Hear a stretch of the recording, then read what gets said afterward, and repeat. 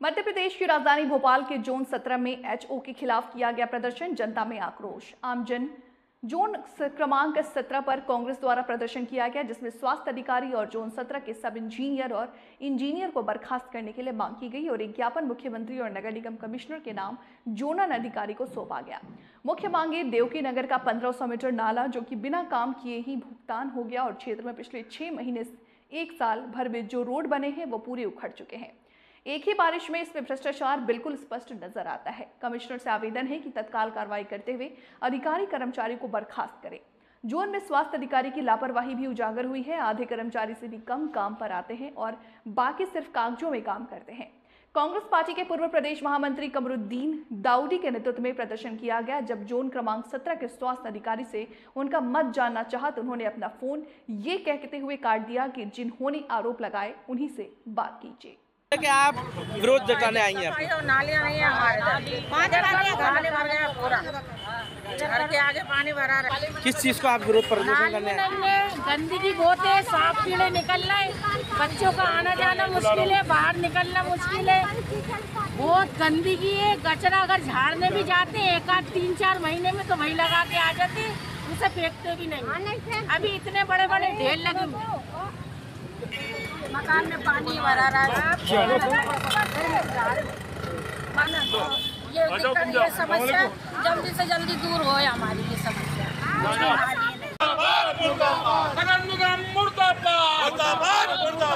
नगर निगम मुर्दाबाद dB star में भास्कर में ये बीस छः को छपा है, बीस छः दो हज़ार चौबीस को, कि इन्होंने इकहत्तर लाख रुपए का नाले को डकार गए और ये बड़े बड़े पेपरों में बड़े अक्षरों से लिखा हुआ है।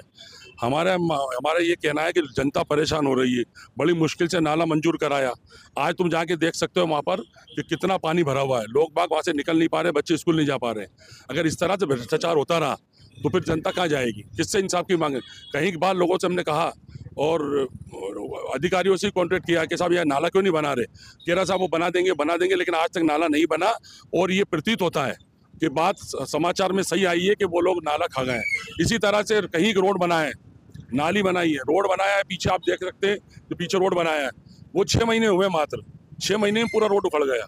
तो इतना भ्रष्टाचार इस जोन में हो रहा है और स्वास्थ्य अधिकारी हमारे क्षेत्र के अंदर हर पाँच वा पाँच वार्ड है हमारे स्वास्थ्य जोन सत्रह में।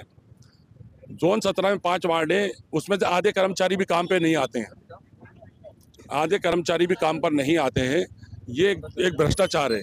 लोग जनता सफ़ाई के लिए परेशान है। नालियाँ नहीं है नाली है बनी है जहाँ पर वहाँ पर सफ़ाई नहीं है। लोगों के घरों में पानी भर रहा है। तो ये भ्रष्टाचार है कि नहीं है?